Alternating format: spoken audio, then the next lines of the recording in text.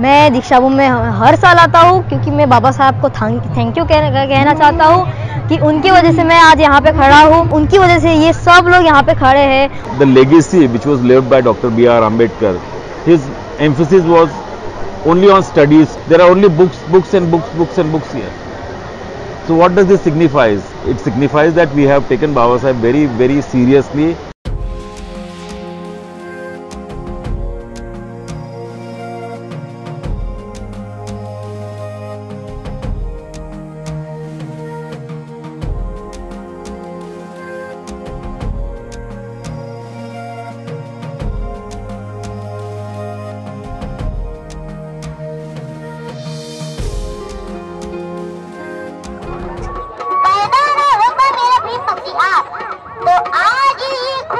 सिलसिला नहीं होता। क्या मेरे बाबा साहेब, ये धरती रहती बेरंग धरती धरती रहती बेरंग आसमान भी नीले झंडे नहीं होता।